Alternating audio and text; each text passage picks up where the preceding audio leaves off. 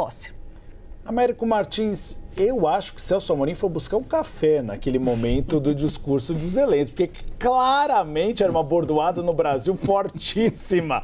Só ele não percebeu. Mas vamos falar um pouquinho desse encontro importante entre Zelensky e Trump. Trump que diz que não vai dar um real, no caso um dólar, para que Zelensky se proteja contra a Rússia. É um passo importante de Zelensky caso Donald Trump se torne presidente dos Estados Unidos.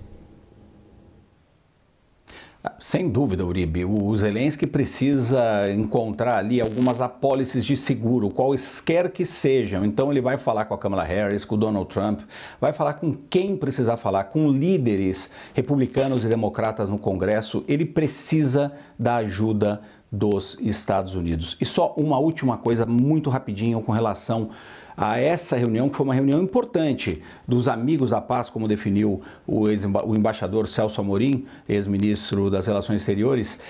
O grande medo do Zelensky é que esse tipo de iniciativa de fato funcione, que isso pegue tração. Por isso ele reagiu tão fortemente contra a ideia do Brasil e da China. E a realização dessa reunião é um passo importante. Não temos nada definido. Nenhuma das grandes potências, tirando a China, participou dessa reunião, porque a maioria eles são aliados, obviamente, da Ucrânia. Então tivemos uma participação basicamente de países do sul global, mas foi uma reunião importante. O fato dela ter acontecido é importante e esse é o temor do Zelensky. Ele não teme o Brasil ou a China, mas ele teme que propostas alternativas acabem ganhando relevância. Por isso, aquela reação dura dele contra essa proposta. Obrigada, Américo Martins, pela sua participação no Bastidores CNN de sexta-feira. A gente se vê na segunda, Américo. Tchau, tchau. Bom fim de semana.